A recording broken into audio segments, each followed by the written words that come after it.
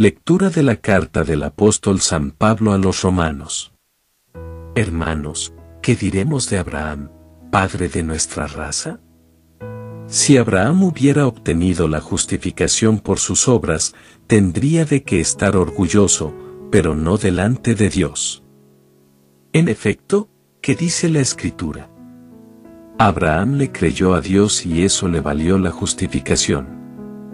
Al que, gracias a su trabajo, tiene obras, no se le da su paga como un regalo, sino como algo que se le debe. En cambio al que no tiene obras, pero cree en aquel que justifica al pecador, su fe le vale la justificación. En este sentido, también David proclama dichoso, al hombre a quien Dios tiene por justo, independientemente de las obras. Dichosos aquellos cuyas maldades han sido perdonadas y cuyos pecados han sido sepultados. Dichoso el hombre a quien el Señor no le toma en cuenta su pecado.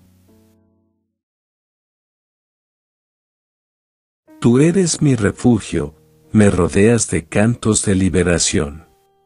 Dichoso el que está absuelto de su culpa, a quien le han sepultado su pecado. Dichoso el hombre a quien el Señor no le apunta el delito.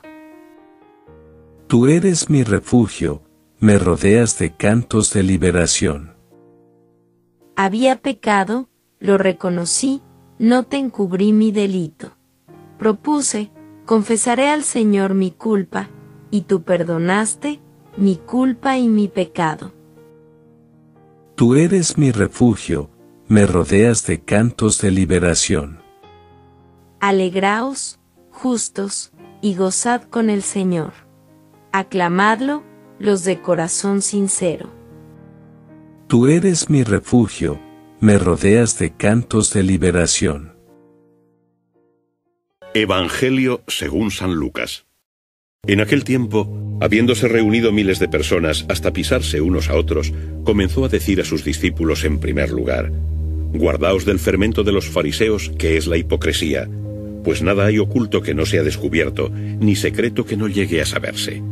Porque cuanto hayáis dicho en la oscuridad será oído a plena luz, y lo que hayáis hablado al oído en las alcobas será proclamado desde los terrados. A vosotros os digo, amigos míos, no temáis a los que matan el cuerpo y no pueden hacer más. Os enseñaré a quién habéis de temer. Temed al que después de dar muerte tiene poder para arrojar en el infierno. Sí, temed a éste. ¿No se venden cinco pájaros por dos ases? Y con todo ninguno de ellos queda olvidado ante Dios. Hasta los cabellos de vuestra cabeza están todos contados. No temáis, vosotros valéis más que muchos pájaros.